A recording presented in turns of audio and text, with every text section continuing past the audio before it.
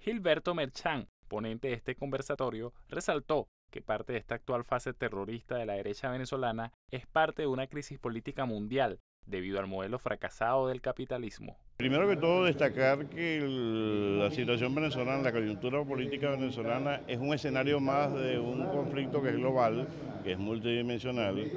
que ya tiene hace mucho tiempo ya que está en desarrollo y, poder destacar eso para proponerlo, conversarlo con el resto de los compañeros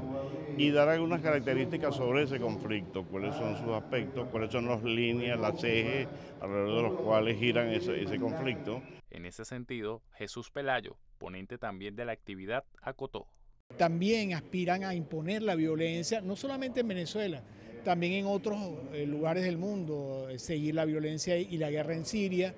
eh, hacer lo mismo en otros escenarios como Corea del Norte,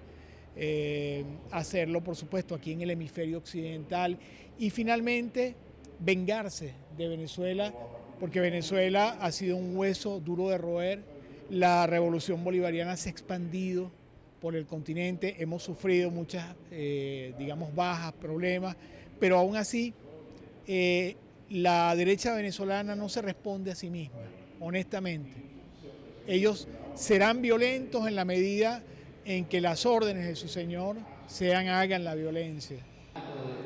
La invitación es al público en general para que se acerque todos los martes a partir de las 2 de la tarde al Foro Libertador, en donde el Frente de Trabajadores Socialistas de la Biblioteca Nacional, junto al personal de la Oficina de Atención al Ciudadano de Vive Televisión, organizan estos conversatorios. Para el Informativo Popular les reportó Jan Corrales.